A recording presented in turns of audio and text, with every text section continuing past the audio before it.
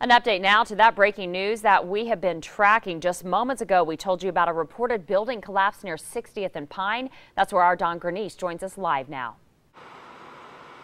Yeah, Mallory, we're not exactly sure what kind of a structure this is, but we're out near Omaha Family Dental. Behind me here, you can see we can at least tell that the ground isn't completely secure. There is at least one vehicle kind of sticking into the ground.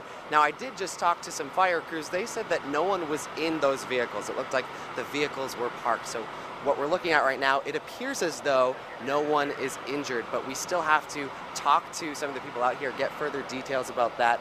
Uh, as you can see, it does look like some form of collapse out here. They have these cones out here.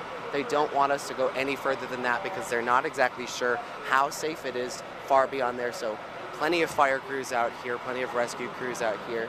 But uh, it looks like, you know, this collapse, we'll have more information as soon as it's available. Back to you guys.